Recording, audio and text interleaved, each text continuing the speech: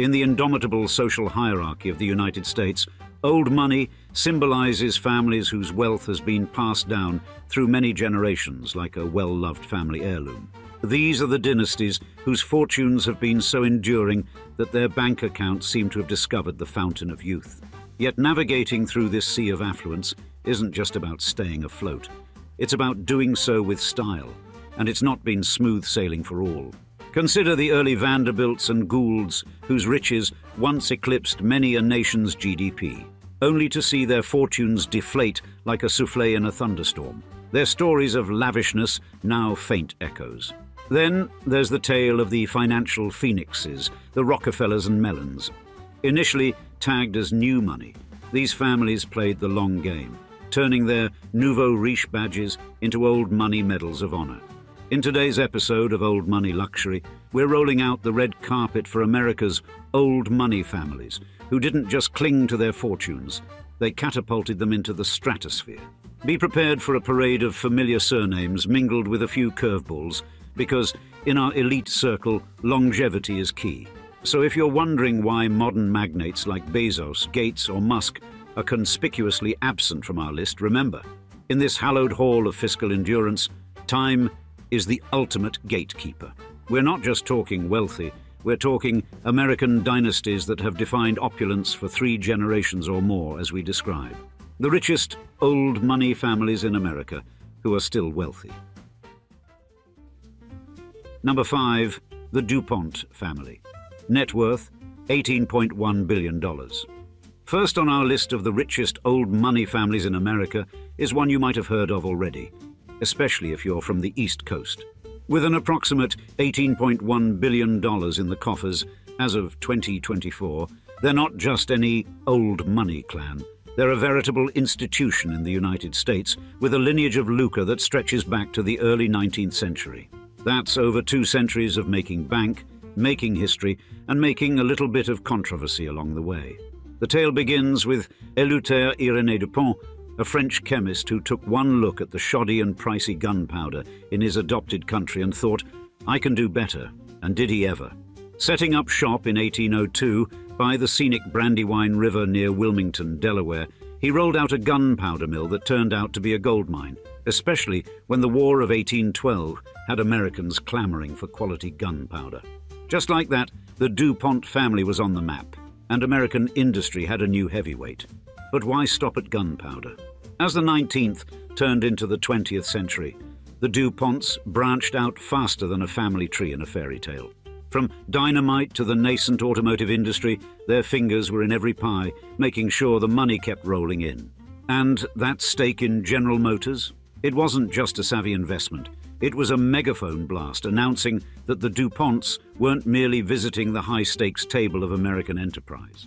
They were permanent fixtures, diversifying their empire across various sectors with the finesse of old school tycoons. But the plot thickens when you peek behind the curtain of this illustrious dynasty. The DuPont saga is not without its dark chapters and eyebrow raising controversies that have stirred the pot over the generations. Their history is dotted with legal battles, environmental issues, and the kind of family dramas that could give soap operas a run for their money. Take, for example, their environmental record. The DuPonts have found themselves in hot water more than once, with their chemical ventures sometimes leaving a less than stellar mark on Mother Earth.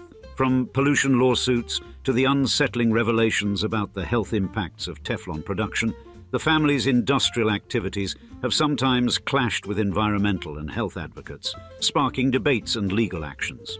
Another glaring chapter in the DuPont family's history is the case of John Eleuthère Dupont, an heir to the family fortune.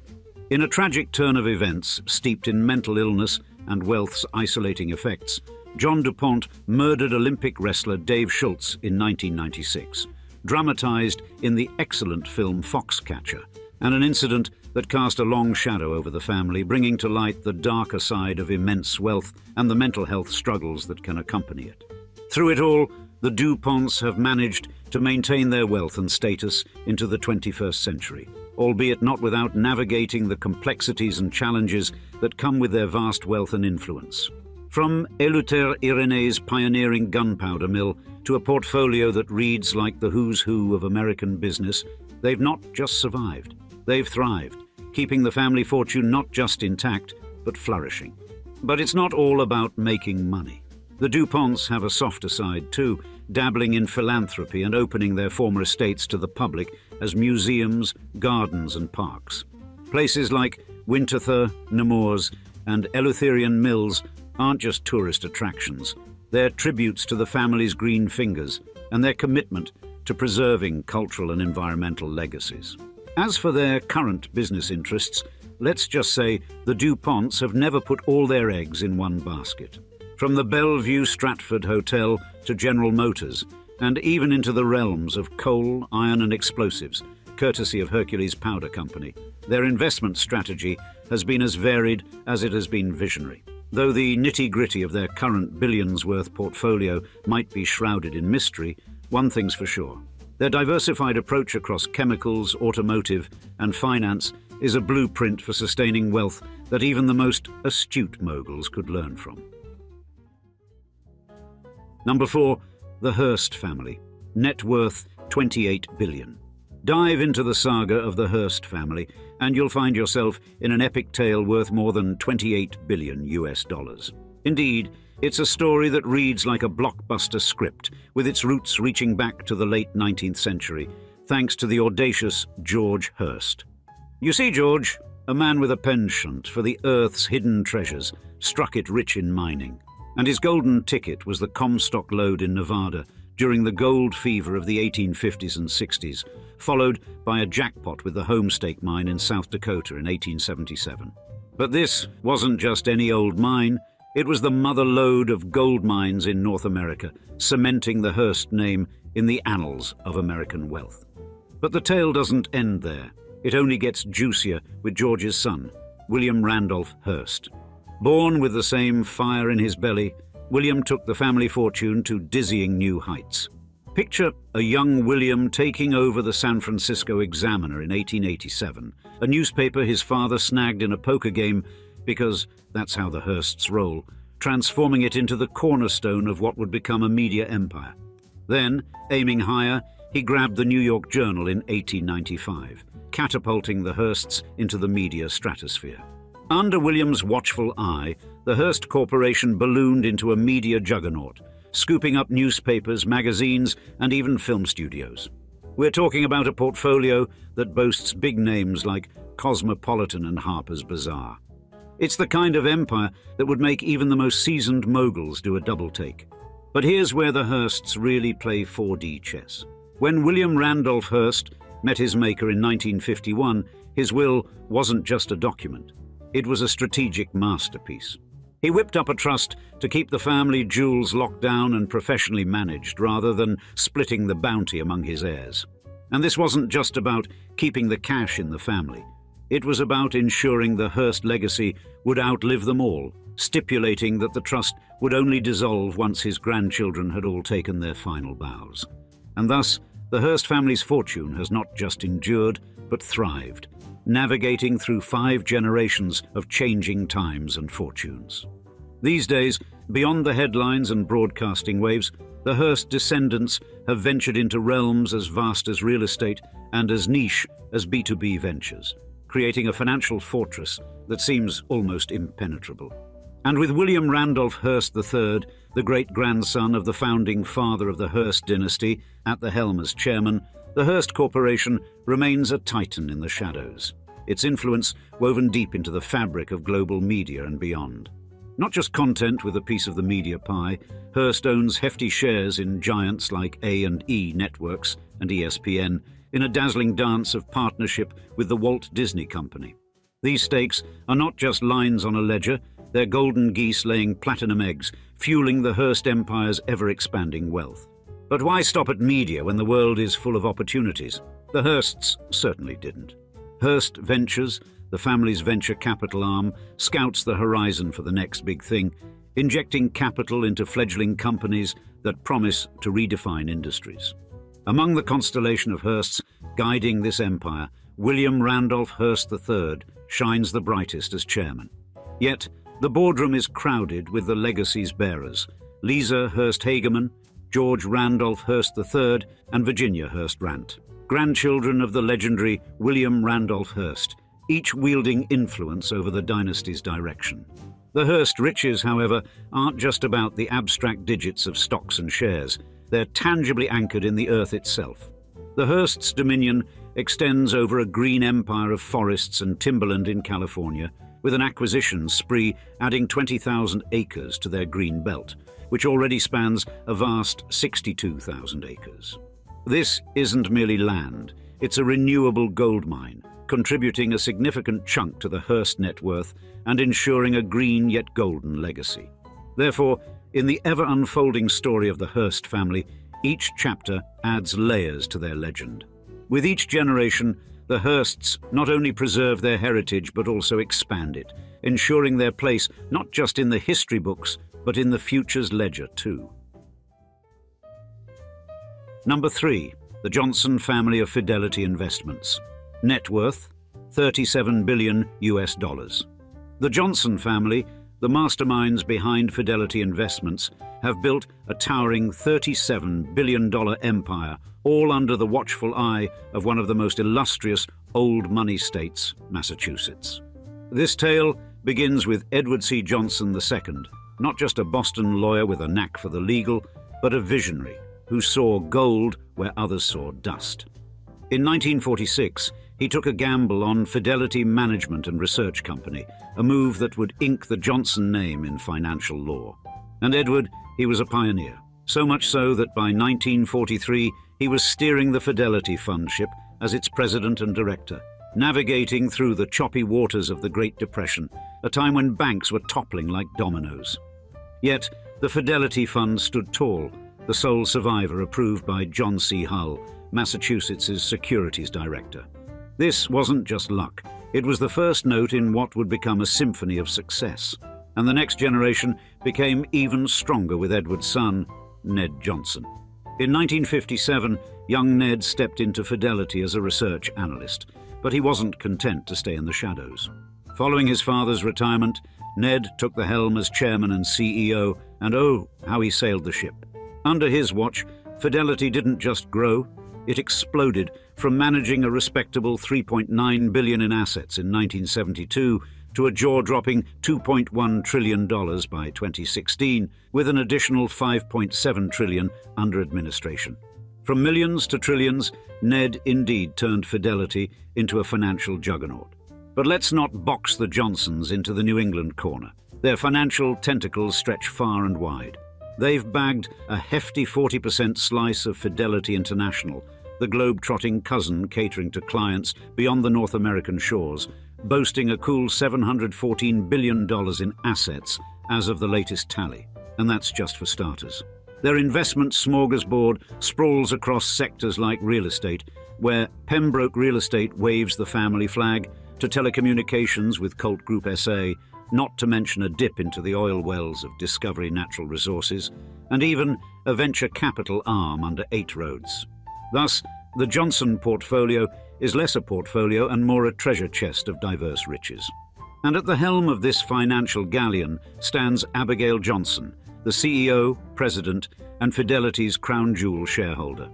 Under Abby's stewardship, Fidelity hasn't just grown, it's flourished, expanding its asset base and boldly venturing into the crypto waters, offering investment options for the institutionally adventurous. Her brother, Edward C. Johnson IV, mans the real estate battleship Pembroke Real Estate and boasts a hefty stake in the Fidelity Empire, alongside investments in Fidelity International and Northern Neck investors. And Abigail's personal coffers are estimated at a staggering $22.6 billion, placing her among the pantheon of the globe's wealthiest women. As for Edward IV, his treasure chest is filled with the fruits of a 7.5% stake in FMR, a share bolstered by the dispersal of their father, Edward III's fortune.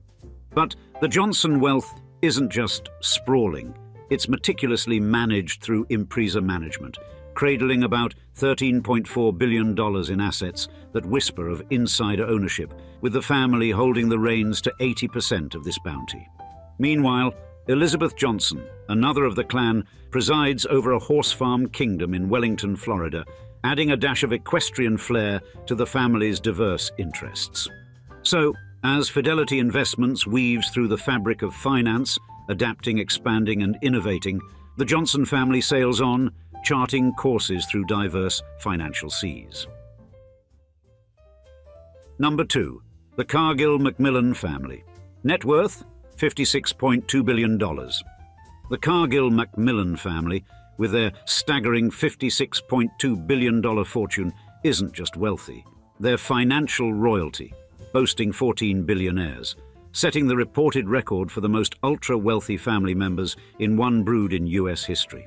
And their vast wealth springs from the fertile grounds of Cargill Inc., the titan of the agribusiness sector, and the largest private corporation in the United States by revenue. Now, this financial empire traces its roots back to 1865, when William Wallace Cargill, a visionary son of a Scottish sea captain, laid the cornerstone of what would become a colossal legacy. Starting with a humble grain storage business in Conover, Iowa, William tapped into the agricultural boom of the Midwest. His strategic acumen in leveraging grain storage facilities catered to the burgeoning needs of farmers during the American frontier's expansion. By hoarding grain until market conditions turned favorable, William didn't just make a fortune, he sowed the seeds of an enduring financial dynasty. The baton of wealth was then relayed across over five generations. The torch, initially ignited by W. W. Cargill, was passed to his son-in-law, John H. Macmillan Sr. in 1909, thus introducing the Macmillan lineage into the enterprise. Under Macmillan's stewardship, the company broadened its horizon, delving into flour milling, feed manufacturing, and a smorgasbord of agribusiness ventures from food processing to commodity trading and risk management. As the 20th century infiled into the 21st, the Cargill Macmillan lineage nurtured their behemoth, all the while cloaking their operations in a veil of privacy befitting their privately held status. Despite shunning the limelight of public markets, Cargill Incorporated's financial might has been unmistakable, with revenue streams gushing into the billions, cementing the family's place in the pantheon of global wealth. Indeed, every year, like clockwork, the Cargill Macmillan clan skims a cool 18% off the top of Cargill Incorporated's net profits, tucking it away as dividends. It's not just pocket change, it's a testament to their towering presence in the agribusiness colossus they've built and meticulously nurtured. And among this affluent family, a few stars shine particularly bright, thanks to their hefty wallets and deep ties to the company's heartbeat. James Cargill, Austin Cargill, and Marianne Liebmann, all great-grandchildren of the legendary William Wallace Cargill, each boast a fortune that would make Midas green with envy, clocking in at a cool $5.4 billion apiece. Yes, that means each of them individually has at least that much, as of the latest whispers from the world of wealth. This trio, alongside Pauline Keinath and Gwendolyn Sontheim Meyer, have watched their fortunes swell in harmony with Cargill's triumphs, etching the family's name even deeper into the annals of global affluence. In this dynasty, each member plays a part in the grand scheme of agribusiness domination, from the fields of the Midwest to the executive boardrooms where decisions shape the future of food, finance, and beyond. Number one, the Mars family. Net worth $115.4 billion. And topping our list is a family with more money than most can fathom the Mars dynasty, who have gained unfathomable riches through the sweet success of Mars Incorporated. This behemoth in the confectionery, pet care, and food product industries owes its prosperity to the candy empire dreamt up by Franklin Clarence Mars in the early 20th century. Franklin, or Frank C. As he's more fondly remembered, was the mastermind behind the family's fortune.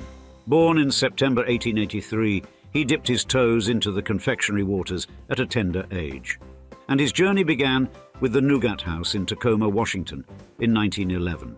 But it was the launch of the Milky Way bar in 1923 that really put the Mars name on the map. This chocolate delight didn't just satisfy sweet tooths, it catapulted Mars, incorporated to the forefront of the candy industry. Then, The roaring twenties were indeed roaring for the Mars clan, as this era laid the golden bricks of their fortune. The Milky Way's success, followed by the birth of other sweet legends like Snickers and M&M's, cemented Mars, incorporated status as a confectionery titan. Frank's knack for innovation in candy creation and marketing wizardry fueled the company's explosive growth and the family's burgeoning bank accounts. This sweet legacy has been meticulously crafted and preserved across four generations, from Frank C. Mars to his son Forrest Edward Mars Sr., and down the lineage to Forrest's offspring and their children. Forrest E. Mars Sr., born on the 21st of March 1904, was pivotal in taking the Mars empire global and diversifying into realms beyond candy, venturing into pet care and other food arenas. This strategic expansion not only diversified the family's portfolio, but anchored their financial dominance even more firmly. And Forrest E. Mars Sr.'s children, including Forrest E. Mars Jr., John Mars, and Jacqueline Mars, inherited this sugary empire and have been the custodians of its growth, steering Mars towards new horizons.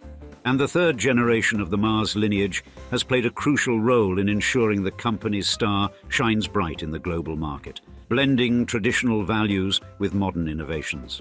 At the forefront of this dynasty stands Jacqueline Mars, born in 1939, whose name is synonymous with both wealth and generosity. Jacqueline, alongside her brother John, inherits the mantle of co-ownership of Mars, though neither delves into the day-to-day management of the conglomerate.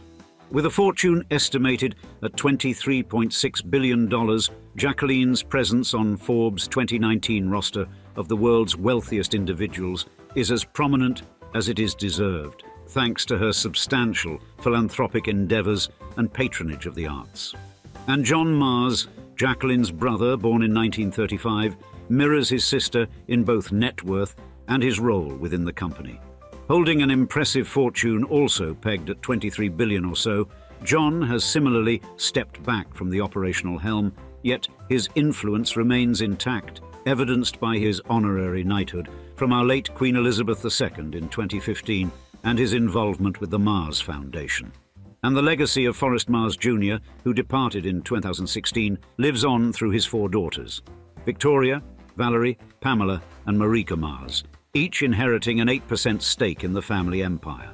Victoria, once the chair of Mars board, alongside Pamela, who also served in a similar capacity before stepping down, have left indelible marks on the company's governance. Meanwhile, Valerie and Marika persist in their active roles within the company and its board, maintaining the Mars family's enduring legacy and stewardship of the business. Together, the four sisters command a collective net worth of 24 billion US dollars, a symbol of the enduring value and growth of Mars Incorporated. Thus, the Mars family's history is not merely a chronicle of wealth accumulation, but a story of strategic expansion, philanthropic leadership, and a deep-seated commitment to the arts and community. And now, we'd like to see you in the comments. Which of these old money families would you like us to do a longer form, in-depth history of? We love making content based on your requests, so be sure to leave us your thoughts below, and we look forward to hearing from you. Thanks again for joining us on another episode of Old Money Luxury, and cheers until next time.